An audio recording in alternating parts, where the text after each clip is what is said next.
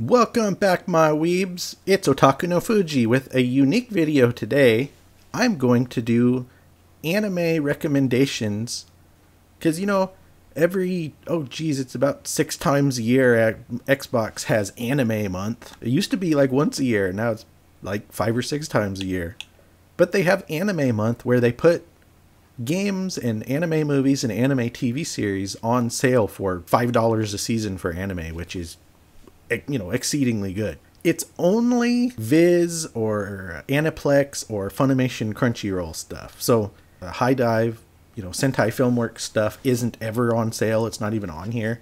There's still a thousand shows just from like Crunchyroll and Funimation. Uh, so I'm gonna go through and tell you what I think you should buy, what you should watch. Uh, anyway, Attack on Titan. Uh, I think it's one of the worst things that I've ever watched. You can get it if you want.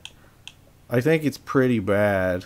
One Punch Man, it's totally worth it. Uh, the first season is amazing. The second season is kind of stinky. You can, you can just buy the first season of One Punch Man. That'd be enough. I've I've watched a lot of isekai. At first I hated isekai, and now I'm all like, ah, it's fine. Like this show, a playthrough of a certain dude's VR MMO life. It's weird because he wants to play the game like in a completely stupid opposite way that everybody else plays. But of course, he's really successful. You know, kind of like Bofuri is the same concept. It, it's all right. Aharen-san is really funny. It's about this girl that's a low talker, but she's really cute and really sweet. If you're into slice of life stuff, definitely give Aharen-san a, a shot. Astra Lost in Space is a surprisingly good sci-fi show about this class of, of kids from a high school that they you know they take a field trip out into space but they got intentionally abandoned out there. And they have to they find a spaceship and they have to make their way back home across like light years. It's it's really cool. It's, it's way better than i expected it to be. Yamada's first time is it's a slice of life romantic comedy about a girl that wants to bang a hundred dudes. But it's not that gross. It's actually really realistic and sweet because she's not actually that big of a hoe Bamboo Blade is a really fun show about kendo. It's got cute girls and it's funny. Beast Tamer is surprisingly good too. It's a fantasy medieval world where this guy he's a beast tamer and everybody thinks that he sucks, but he has like crazy abilities that he can tame monsters that nobody else can, including like legendary creatures like dragons and cat girls and fairies and stuff. It's really fun. It's got lots of cute girls. You know, and of course Bofuri is super fun about a girl that just wants to raise her defense and not actually attack anything. But in raising her defense, she gets super powerful and kicks everybody's butt anyway. It's awesome.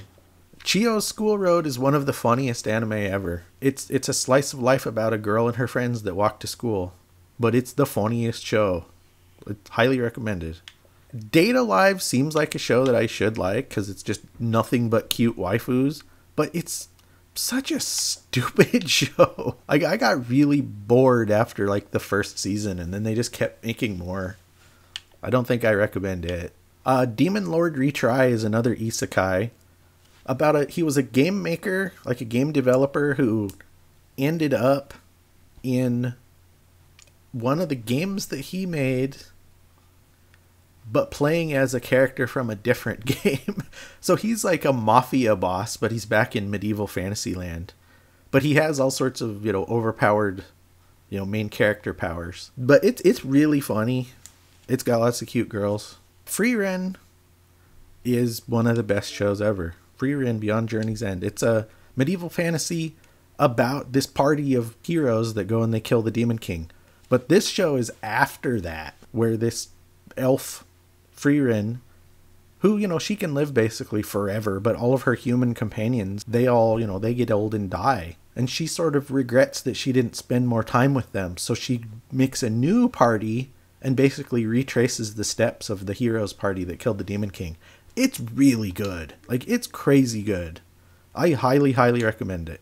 This full dive, the, the ultimate next gen RPG is even shittier than real life. Uh, it's a you know VR game where it's terrible, and this dude, the first thing he does is he accidentally kills an NPC, and then he's like a wanted murderer for the whole rest of the game, and he has a really bad time, but he keeps playing it for some reason. And the reason why he plays it is because a big booby girl at a game shop tells him to play it, and she goes into the game world with him and tries to help him. Like it, it's really funny. And there's cute girls. Uh, Heaven's Lost Property, if you've never watched it, is super fun. It's about big booby angel waifus that come down to a little weird perverted, like potato goblin boy.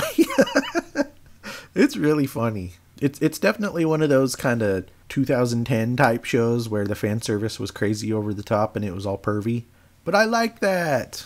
Hokkaido Gals are super adorable. Is super duper fun. It's about a kid that moves up to, or a guy that moves up to Hokkaido and goes to high school. And the first person he meets is this awesome, hot gal, Gyaru. It's a really fun show, except the voice, the English voice for the main character girl is the same as Chio's School Road. And it's weird hearing that voice come out of a hot girl.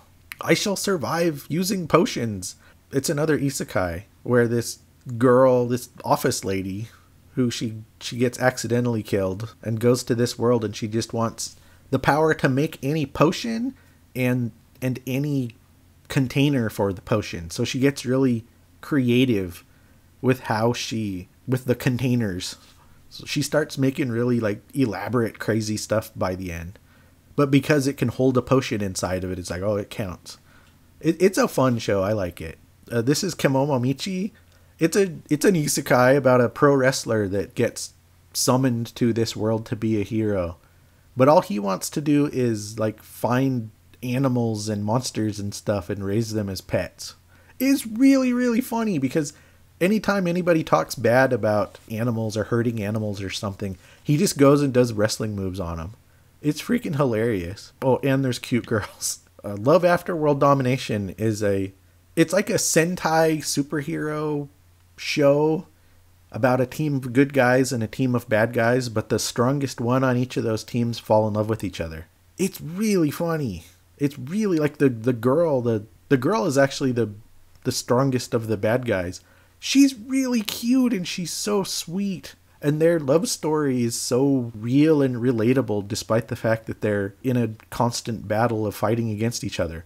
More Than a Married Couple But Not Lovers is a weird slice of life romantic comedy show about, for some reason, this high school, part of their graduation requirement is that they make teenagers live together like their husband and wife. Which, yeah, that sounds like a weird setup that would only lead to terrible bad things. But, you know, in this anime world, it's fine. But this normal geeky guy gets paired up with a hot gal and he tries to keep his distance, but the gal basically falls in love with him. It's complicated. It's it's all right. It's pretty cute. There's hot girls. Mr. Osomatsu-san is one of the funniest shows ever. They only have the English dub on here, which kind of sucks. It's it's not nearly as good as the Japanese voices. Cuz a lot of the jokes and a lot of the character reactions and things just don't really work in English. But I mean, you get used to it I guess I should mention that almost all of these shows I watch in English if it's available. Because I am not one of those subs versus dubs people. I think that's the dumbest argument ever. This is my dress up darling. This might be my favorite anime ever. Like like it, it's up there fighting with Beck Mongolian Chop Squad. But it's about a normal weird guy that makes clothes for dolls and this super hot girl that wants to do cosplay. So she has him make costumes for her and of course, they end up falling in love. It's the sweetest, best show ever. And the girl, Marin Kitagawa, is the ultimate waifu. She's so perfect. Not just because she's hot, but because her personality is amazing. She is so great. My roommate is a cat is kind of a weird show to recommend because it's it's sort of funny, but like if you like cats, if you like uh, comedy, if you like slice of life stuff, it's so good. The first half of every episode is like the guy's perspective of what's going on, and then the second half is the cat's perspective. The experienced you and the inexperienced me is about a gal who's like the sluttiest slut that ever slutted. She actually is. And this normal uh, normal guy asks her out, and the first day she takes him back to her apartment and is going to have sex with him. But he's like, no, I'm a nerd. We can't do that. So the rest of the show is the girl basically realizing that even though she's like super experienced sexually, she's never been in a real relationship. And of course, the nerdy guy has never been in a real relationship either. So it's them both kind of like having a real relationship for the first time. It's really good. It like it starts off gross, but by the end it's pretty good. The only problem is that they're the other characters are horrible because there are other girls in the show that also have weird preconceived notions of what relationships are and what they're supposed to be. And those other characters are horrible. The main girl is awesome, but her friends are horrible. But if you can stomach that, like it's a pretty fun show. I would talk about ReZero, except it and Attack on Titan are two of the worst things that I've ever watched in my entire life. These shows are putrid garbage. ReZero sucks because the main character sucks and is literally the worst. He sucks so bad. I hate ReZero. Don't buy that. Don't watch it. Don't even think about it. Reborn as a vending machine is the dumbest concept ever, but it's really funny and it's actually really clever.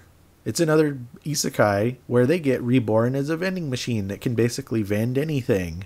So he helps this medieval fantasy world by vending them whatever they need. it's the dumbest concept ever, but it's really funny. And once you sort of just accept that it's dumb, you can have a lot of fun with the show. Sleepy Princess in the Demon Castle is another one of those shows that is just one of the funniest things you'll ever watch. It's about a princess that gets kidnapped by the demons and she lives in the Demon Lord castle. But they're not actually bad, they're not mean to her she's happy because she doesn't want to really do her princess duties anymore. So she just wants to sleep all day.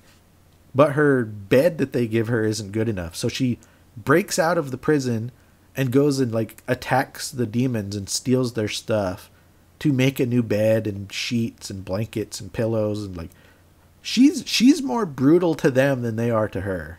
And it's hilarious. Like I totally recommend it. Wandering Witch Elaina it's sort of like Frieren in that it's a medieval fantasy type world, but it doesn't really follow the same path. But in this one, uh, Elaina is a witch who just travels around the world. There's a surprising number of times where she knows something bad is happening or going to happen.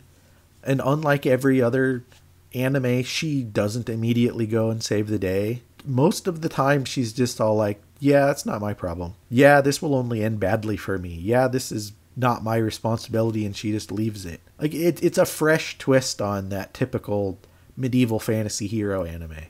My last recommendation is Zombieland Saga. It's a show about the the prefecture of Saga in Japan. It's basically, you know, culturally and socially it's sort of dying off. And this guy brings back all of these idols and singers and performers and stuff as zombies and turns them into idols. They have to wear makeup and stuff so that they can, you know, perform and bring more attention to Saga and revitalize Saga. It's two seasons and it's awesome. They're sort of gradually learning how to work together and become idols and make their own music and do their own things. And the the end of the second season is one of the most well earned great final episodes of any anime I've ever seen.